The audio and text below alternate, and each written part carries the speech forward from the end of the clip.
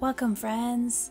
It's another gray, cold day here in Central Virginia, but I am so thankful that you decided to come by because today we are going to make the orchid shawl. The orchid shawl is the first in a series of shawl patterns that I'm making to celebrate the blossoms of spring. I love spring.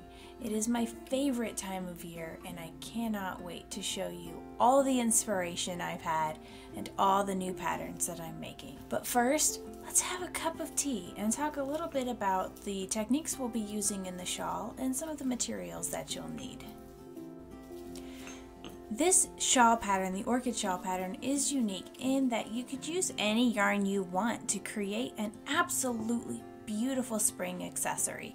I know, know, it's winter for most of us, but here in Central Virginia, it's kind of starting to feel like spring. But I also know that it's probably going to snow in the next two weeks because that's how the weather likes to be here. Anyways, back to the yarn. You could use any size yarn you want. If you want to use fingering weight yarn, go right ahead. Want to use worsted weight yarn? You can do that too. This shawl is a simple two row repeat. So you can use any size yarn that you want and get an absolutely gorgeous pattern. Which also means you don't have to make a gauge swatch. You just keep repeating the two rows until you get the size you want. I'll show you how to make it. Let's get started.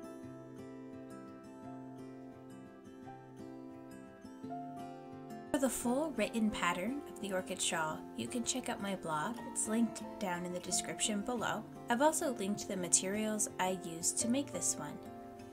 You can also find more information about the pattern and an option to purchase a printable PDF in the blog post. I hope you'll go check it out.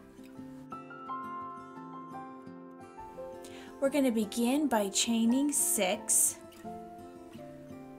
and then using a slip stitch to join the first chain and the last chain together to form a ring.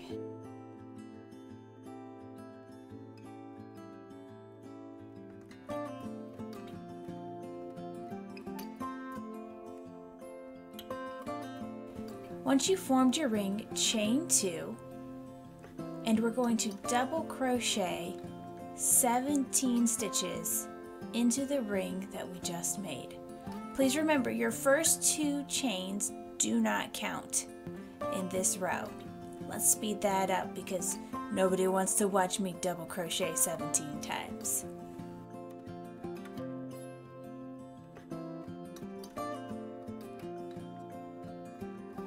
Alright, so we've got our 17 double crochet.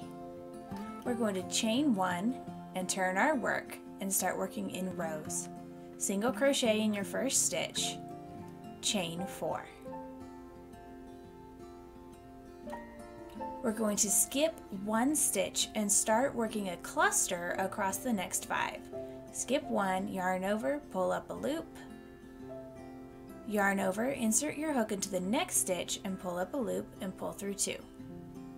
Skip one stitch, yarn over, pull up a loop in the next stitch, yarn over, pull through two, yarn over, pull up a loop in the next stitch, pull through two, yarn over and pull through all the loops on your hook. That's how we're going to be working clusters. Now we'll chain four, skip one stitch, and single crochet in the next double crochet.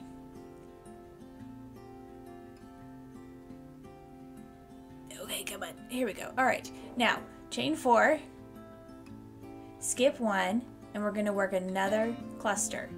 So skip one, then yarn over, pull up a loop in the next stitch, pull through two, yarn over, pull up a loop in the next stitch, pull through two, skip one stitch, yarn over, pull up a loop in the next stitch, pull through two, and repeat that one more time.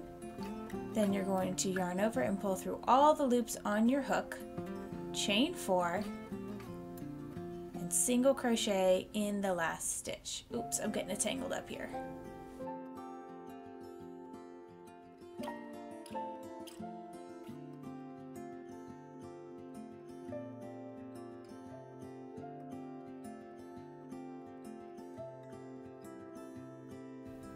chain six. This counts as a double crochet and a chain three at the beginning of our row. Now we're going to double crochet in the first single crochet.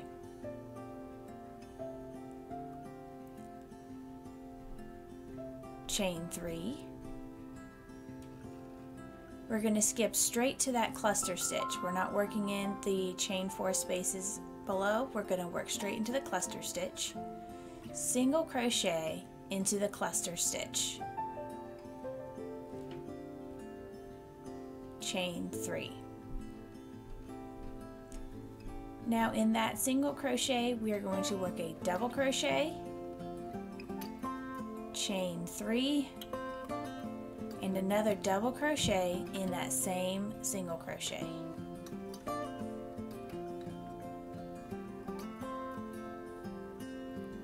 Chain four, or I'm sorry, chain three, and then single crochet into the cluster, chain three, and in the last single crochet we will double crochet chain three double crochet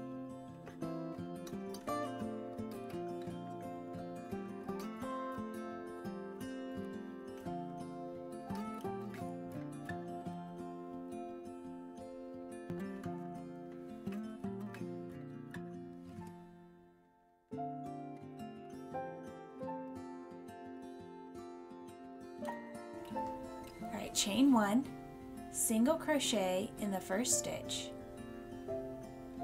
chain four. Now we're going to work a cluster around this one double crochet. So we'll yarn over, insert the loop into the chain three space, pull up a loop and pull through two. Repeat that, just like we did with the first set of clusters. But we're going to skip the double crochet and work the next two portions of our cluster into the next chain three space. Once that's done, we'll pull through all the loops and we have our cluster and it is made around that double crochet. Chain four, single crochet in the single crochet. All right, let's keep going. We're going to chain four again.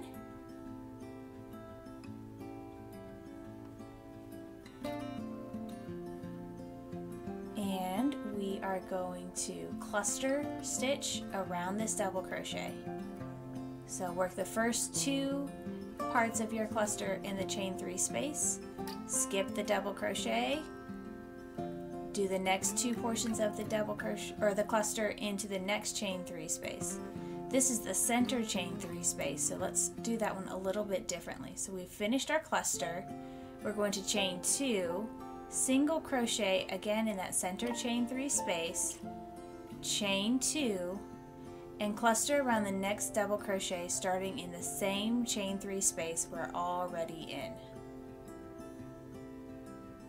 So that center chain three space will have those two clusters and a single crochet in it.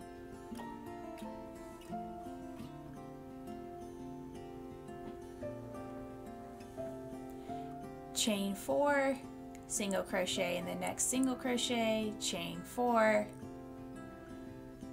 cluster around that last double crochet,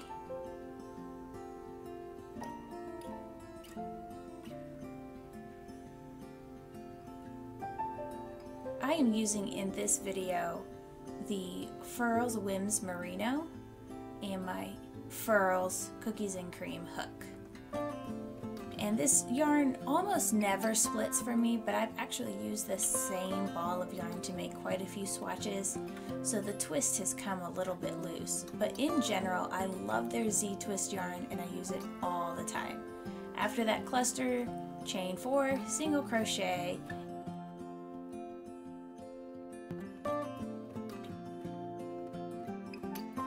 Alright, we're on row five, so we'll start with a chain six, which counts as a double crochet and a chain three space.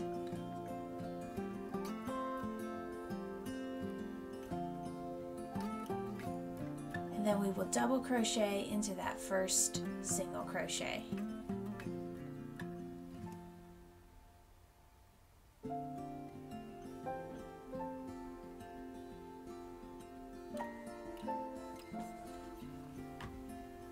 chain three, single crochet into the cluster, chain three, double crochet in the single crochet. And you're just going to keep repeating that till you reach your, your center stitch. So chain three, single crochet in the cluster, chain three, double crochet in the single crochet until we reach the center single crochet.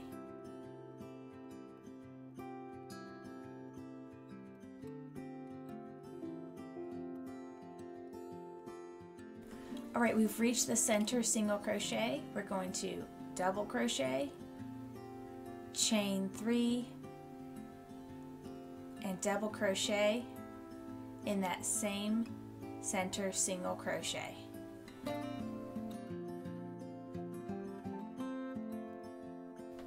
It's looking good. Let's keep going. Chain three, single crochet in the next cluster. Just like we did on the other side, we are going to chain three, double crochet in the single crochets, and chain three, single crochet in the cluster stitches.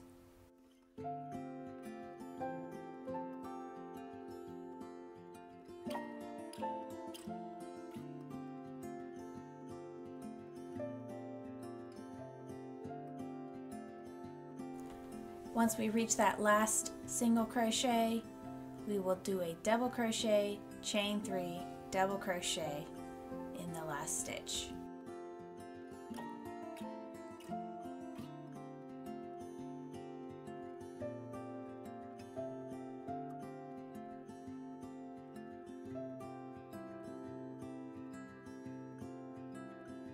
All right, for row six, you're gonna start with a chain one, and you're gonna single crochet in your first stitch. Then chain four, and work a cluster stitch around the next double crochet. And we are going to just repeat row five and six, which are essentially the same as row three and four over and over and over again until you get a shawl the size you need.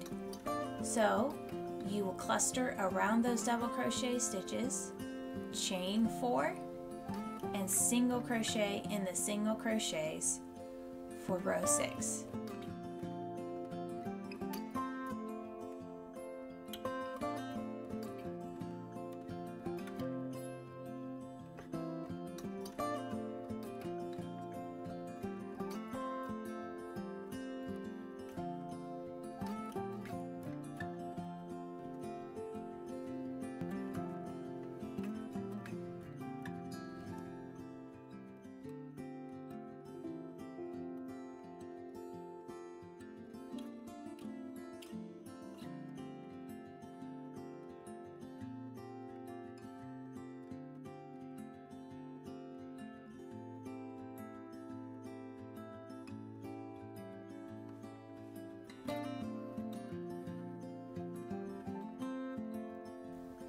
So work your cluster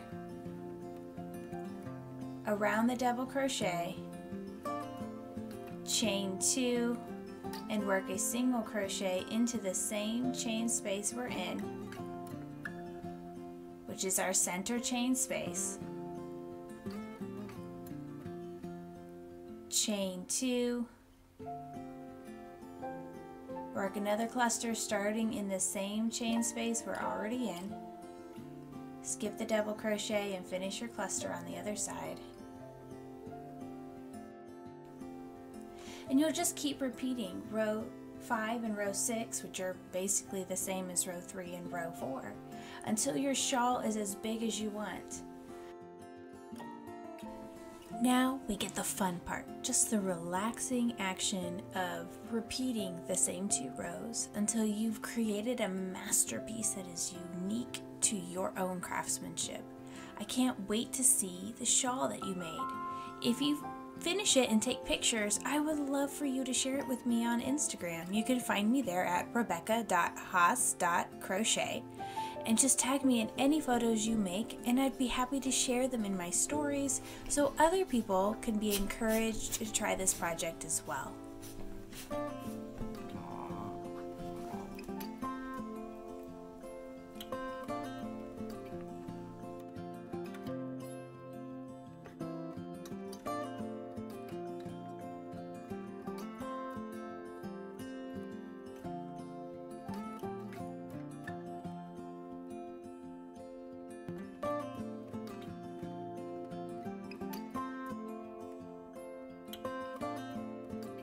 You enjoyed this video, I hope you give it a thumbs up and maybe leave me a comment.